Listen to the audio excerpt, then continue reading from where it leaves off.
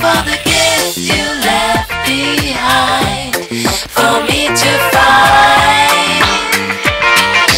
By the way.